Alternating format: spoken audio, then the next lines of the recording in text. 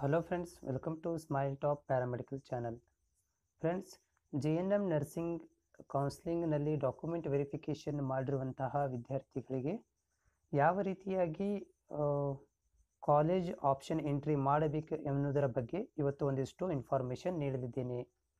So ಈ ವಿಡಿಯೋನ ಪೂರ್ತಿಯಾಗಿ ನೋಡಿ. ಸೊ ಈಗಾಗಲೇ ನೀವು ಆನ್ಲೈನ್ ವೆರಿಫಿಕೇಶನ್ ಡಾಕ್ಯುಮೆಂಟ್ ವೆರಿಫಿಕೇಶನ್ ಮಾಡಿಸಿದ್ದು ಅಂಥ ವಿದ್ಯಾರ್ಥಿಗಳು ಆನ್ಲೈನ್ನಲ್ಲಿ ಹೋಗಿ documentation verification ಮಾಡ್ಕೋಬೇಕಾಗಿದೆ.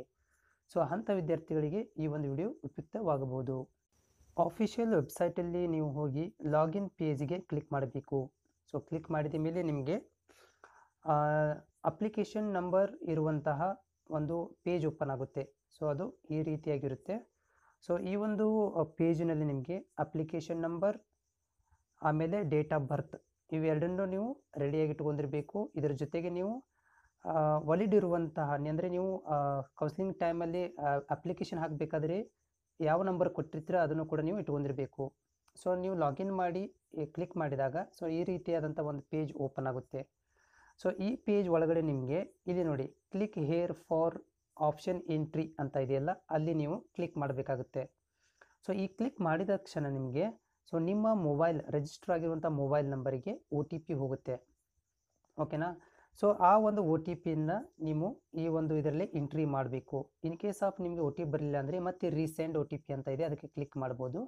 So O T P enter ಮಾಡಿದ ಮೇಲೆ ಕೆಳಗಡೆ ಒಂದು ಬಟನ್ಗೆ ನೀವು ಕ್ಲಿಕ್ ಮಾಡಬೇಕಾಗುತ್ತೆ.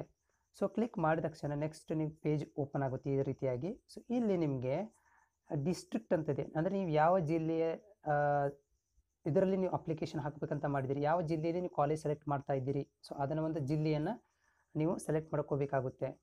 ಸೊ ಈ ಒಂದು ಜಿಲ್ಲೆಯನ್ನು ಸೆಲೆಕ್ಟ್ ಮಾಡಿದ ಮೇಲೆ ಸೊ ನೆಕ್ಸ್ಟ್ ನಿಮಗೆ ಅದರ ಪಕ್ಕದಲ್ಲಿರುವಂತಹ ಒಂದು ಆಪ್ಷನ್ ಇದೆ. ಅದು ಸ್ಕೂಲ್ ಟೈಪ್ ಅಂತ. ಅಂದರೆ ನೀವು ಗೋರ್ಮೆಂಟ್ ಕಾಲೇಜ್ಗಳಿಗೆ ಅಡ್ಮಿಷನ್ ಮಾಡಿಸಲು ಬಯಸ್ತೀರಾ ಅಷ್ಟೇ?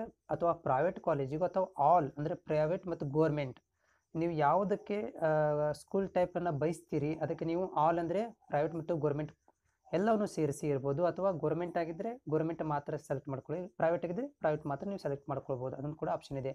ಸೊ ನೆಕ್ಸ್ಟ್ ಒಂದು ಕ್ಲಿಕ್ ಮಾಡಿದ ಮೇಲೆ ನಿಮಗೆ ಯಾವ ಕಾಲೇಜನ್ನು ಯಾವ ರೀತಿಯಾಗಿ ಪ್ರಯೋರಿಟಿ ಕೊಡ್ತೀರಿ? ಫಾರ್ ಎಕ್ಸಾಂಪಲ್ ನಿಮಗೆ ಗೌರ್ಮೆಂಟ್ ಕಾಲೇಜ್ ಬೇಕಾಗ್ತದೆ ನಂಬರ್ ಒನ್ ಅಂತ. ಅಥವಾ ಬೇರೆ ಒಂದು ಪ್ರೈವೇಟ್ ಚೆನ್ನಾಗಿ ಕಾಲೇಜ್ ಇತ್ತು ನಂಬರ್ ಟು ಈ ರೀತಿಯಾಗಿ ನೀವು ನಂಬರ್ಗಳನ್ನು ಹಾಕಬೇಕಾಗುತ್ತೆ. ಸೊ ಈ ನಂಬರ್ಗಳನ್ನು ಹಾಕಿದ ಮೇಲೆ ನಿಮಗೆ ಅಲ್ಲಿ ನೆಕ್ಸ್ಟ್ ಏನಾಗುತ್ತೆ ಅಂತಂದರೆ, ಈ one for example one two three ಅಂತ ಕೊಟ್ಟಿದ್ದಾರೆ. ಒಂದು ಮೂರು ಕಾಲೇಜನ್ನು ಸೆಲೆಕ್ಟ್ ಮಾಡ್ಕೊಂಡಿರಿ ಒನ್ ಟೂ ತ್ರೀ ಮೇಲೆ. ಓಕೆ ಹಾಗೆ ಇದನ್ನು ಆಪ್ಷನ್ ಸೆಲೆಕ್ಟ್ ಮಾಡಿದ ಮೇಲೆ ನಿಮಗೆ ಒಂದು ರಿವೇವ್ ಅಂತ ಬರುತ್ತೆ. ಓಕೆ ಪ್ರಿವೇವ್ ಅಂತಿದೆ ನೋಡ್ಕೊಳ್ಳಿ. ಅಂದರೆ ನೀವು ನೀವು ಹಾಕಿರುವಂಥ ಹೆಸರು ಕರೆಕ್ಟ್ ಆಗಿದ್ದಿಲ್ಲ ಅಂತೇಳಿ ಸೊ ರಿವ್ಯೂ ಆದಮೇಲೆ ನಿಮಗೆ ಸೊ ಅದನ್ನು ಕಾಲೇಜನ್ನು ಕನ್ಫರ್ಮ್ ಮಾಡಬೇಕಿತ್ತು. ಸೊ ಆವಾಗ ನಿಮ್ಗೆ ಏನಾಗುತ್ತೆ ಇಲ್ಲಿ? Confirm to save and submit ಅಂತ ಆಪ್ಷನ್ ಬರುತ್ತೆ.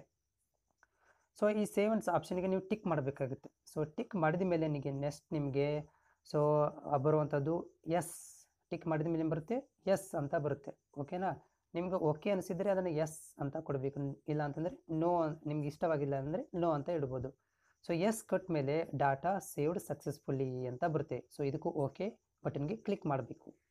ಸೊ ಕ್ಲಿಕ್ ಮಾಡಿದ ಮೇಲೆ ನೆಕ್ಸ್ಟ್ ನಿಮ್ಗೆ ಇನ್ ಕೇಸ್ ಆಫ್ ಏನಾದರೂ ಅದರಲ್ಲಿ ಬದಲಾವಣೆ ಮಾಡಬೇಕಿತ್ತು. ಈಗ ನಿಮಗೆ ಸಬ್ಮಿಟ್ ಮಾಡಿಬಿಟ್ಟಿದ್ದೀರಾ ಬಟ್ ನಿಮ್ಮ ಕಾಲೇಜ್ ಇಷ್ಟವಾಗಲಿಲ್ಲ. ಯಾರೋ ಹೇಳಿದ್ರು ನಿಮಗೆ ಕಾಲೇಜ್ ಬೇಡ ಅಂತ. ಸೊ ಅದನ್ನು ರಿಮೂವ್ ಮಾಡಬೇಕಿತ್ತು ಅಥವಾ ಅದನ್ನು ಬದಲಾವಣೆ ಮಾಡಬೇಕಿತ್ತು. ಫಸ್ಟ್ ಇದ್ದಿದ್ದನ್ನು ಸೆಕೆಂಡ್ ಮಾಡ್ಕೋಬೇಕಿತ್ತು ಅಥವಾ ಥರ್ಡ್ ಮಾಡ್ಕೋಬೇಕಿತ್ತು. ಆ ಟೈಮಲ್ಲಿ ನೆಕ್ಸ್ಟ್ ನೀವೇನು ಮಾಡಬೇಕು? Edit selected course option number ಅಂತ ಇದೆ.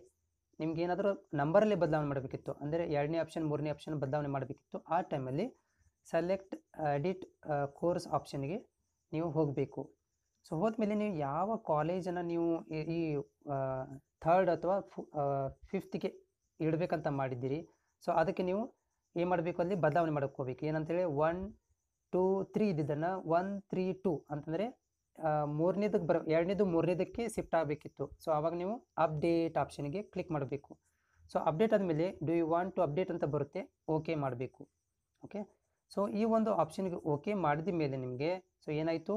ನೀವು ಕಾಲೇಜನ್ನು ಕೆಳಗೆ ಮೇಲುಗಡೆ ಮಾಡ್ಕೊಂಡ್ರಿ. ಅಂದರೆ ಆಪ್ಷನ್ ಎಂಟ್ರಿಯಲ್ಲಿ ಬದಲಾವಣೆ ಮಾಡ್ಕೊಂಡ್ರಿ ಅಂತ ಕನ್ಫರ್ಮ್ ಆಗುತ್ತೆ. ನೆಕ್ಸ್ಟ್ ನೀವೇನು ಮಾಡಬೇಕು? ಅಪ್ಡೇಟ್ ಆದಮೇಲೆ ಇನ್ ಕೇಸ್ ಆಫ್ ನಿಮಗೆ ಇದು ಕಾಲೇಜ್ ಬೇಡಾಗಿತ್ತು ಸೊ ಅಲ್ಲಿ ಪಕ್ಕದಲ್ಲಿ ರಿಮೂವ್ ಅಂತ ಆಪ್ಷನ್ ಇದೆ.